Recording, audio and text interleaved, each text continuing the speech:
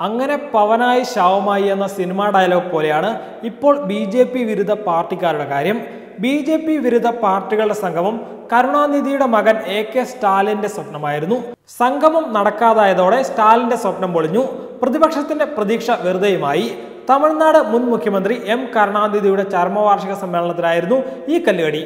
സമ്മേളനത്തിൽ പങ്കെടുക്കാമെന്ന് ഏറ്റവർ ഓരോന്നായി വാക്കുമാറി. ഇരട്ടച്ചങ്കനായി പിണറായി വിജയനും വാക്കുമറയിൽ ഉൾപ്പെടുന്നു. കേരളത്തിനു വേണ്ടി വാരിക്കോരി സഹായങ്ങൾ നൽകിയ സുഷമാജിയുടെ സംസ്കാര ചടങ്ങുകളിൽ പോകാതിരുന്ന ഇരട്ടച്ചങ്കന്റെ വാക്കിന് പഴയ ചാക്കിന്റെ വില പോലുമില്ല. മറ്റ് സംസ്ഥാനങ്ങളിലെ മുഖ്യമന്ത്രിമാരും മന്ത്രിമാരും ഉൾപ്പെടെ സുഷമാജിയുടെ സംസ്കാര ചടങ്ങിൽ പങ്കെടുത്തപ്പോൾ കേരള ഹൗസ് ജീവനക്കാരന് മാത്രം പങ്കെടുപ്പിച്ച് കേരളം നാണം കിട്ടു. കേന്ദ്ര സഹായത്തിനായി പ്രധാനമന്ത്രിയുടെയും മറ്റ് കേന്ദ്രമന്ത്രിമാരുടെയും ഓഫീസിൽ കാത്തുകെട്ടിക്കിടന്ന് സങ്കുചിത പ്രസ്താവനകൾ നടത്തി മടങ്ങുന്ന ഇരട്ടച്ചങ്ങന്റെ ശൈലി കേരളത്തിലെ എല്ലാ ജനങ്ങൾക്കും അത്രയേറെ മനഃപ്പാടമാണ്. കരുണാനിധിയുടെ ചരമവാർഷിക സമ്മേളനത്തിൽ സ്റ്റാലിനൊപ്പം പങ്കെടുത്തത് പശ്ചിമ ബംഗാൾ മുഖ്യമന്ത്രി മമതാ ബാനർജിയും പുതുച്ചേരി മുഖ്യമന്ത്രി വി നാരായണസ്വാമിയും മാത്രമാണ്.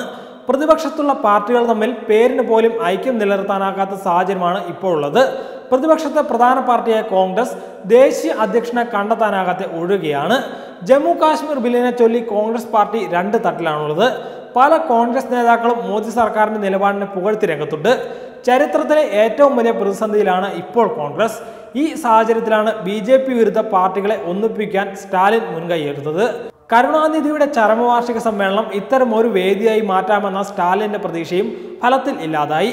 എവിടെയും പാഞ്ഞെത്തുന്ന രാഹുൽ ഗാന്ധി പോലും കരുണാനിധിയുടെ ചരമവാർഷിക സമ്മേളനത്തിലെത്തിയില്ല. ആന്ധ്രാപ്രദേശ് മുഖ്യമന്ത്രി ചന്ദ്രബാബു നായിഡുവും ഔദ്യോഗിക തിരക്കുകൾ പറഞ്ഞ് ഒഴിവായി.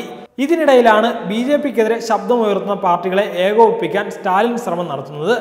എന്നാൽ രാഹുൽ ഗാന്ധിയും മുഖ്യമന്ത്രി പിണറായി വിജയനും ഉൾപ്പെടെയുള്ളവർ സമ്മേളനത്തിൽ നിന്ന് വിട്ടുനിൽക്കുകയായിരുന്നു. അനുസ്മരണ വേദിയിൽ മമതാ ബാനർജി കാശ്മീർ പ്രശ്നം ഉന്നയിക്കുകയും ജമ്മു കാശ്മീർ മുൻ മുഖ്യമന്ത്രി ഫാറൂഖ് അബ്ദുള്ളയ്ക്ക് സമ്മേളനത്തിൽ പങ്കെടുക്കാൻ കഴിയാത്ത നിസ്സഹായാവസ്ഥ ചെറുത്തൽപ്പിന് അനിവാര്യമായതിലേക്കാണ് വിരൽ ചൂണ്ടുന്നതും ആഹ്വാനം ചെയ്യുകയും ചെയ്തു. രാജ്യത്തെ ബലി കഴിക്കാനാകില്ലെന്നും മമതാ ബാനർജി പറഞ്ഞു. കാശ്മീരിന്റെ പ്രത്യേക പദവി നീക്കം ചെയ്യപ്പെടുന്നതായിരുന്നു പറഞ്ഞ എ കെ സ്റ്റാലിൻ. പ്രതിപക്ഷം ഒരുമിച്ച് നിൽക്കേണ്ടത് ആവശ്യമാണെന്നും വേദിയിൽ ഓർമ്മപ്പെടുത്തി കോൺഗ്രസിന്റെ പ്രമുഖ നേതാക്കളിൽ നാരായണസ്വാമി മാത്രമാണ് സമ്മേളനത്തിൽ പങ്കെടുത്തത്. മക്കൾ നീതിമയം അധ്യക്ഷൻ കമൽഹാസനെയും ക്ഷണിച്ചിരുന്നെങ്കിലും അദ്ദേഹത്തിന് ചടങ്ങിനെത്താൻ കഴിഞ്ഞില്ല. ബി ജെ പി വിരുദ്ധ സഖ്യമെന്ന സ്റ്റാലിൻ സ്വപ്നം സമീപകാലത്തൊന്നും യാഥാർത്ഥ്യമാകില്ലെന്ന സൂചനയാണ് കരുണാനിധിയുടെ അനുസ്മരണ സമ്മേളനം നൽകുന്നത്. കഴിഞ്ഞ വർഷത്തെ അനുസ്മരണ സമ്മേളന വേദിയിലാണ് എ കെ സ്റ്റാലിൻ രാഹുൽ ഗാന്ധിയെ പ്രധാനമന്ത്രി സ്ഥാനാർത്ഥിയായി പ്രഖ്യാപിച്ചത്. അമേത്തിയിൽ സ്മൃതി ഇറാനിയോട് ദയനീയമായി തോറ്റ രാഹുൽ ഗാന്ധി വയനാട്ടിൽ മത്സരിച്ചുകൊണ്ട് മാത്രമാണ് ലോക്സഭയിലെത്തിയത്. ലോക്സഭാ തെരഞ്ഞെടുപ്പിൽ കോൺഗ്രസ് ഉൾപ്പെട്ട സഖ്യം ദയനീയമായി തോൽക്കുകയും ചെയ്തു.